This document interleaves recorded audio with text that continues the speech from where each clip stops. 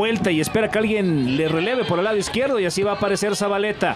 Busca hacia adelante, la pelota ya pasó, la pelota pica, buscaba Enciso, está dentro del área, Enciso le pega, parece mano, penalti. Levantó de más la mano.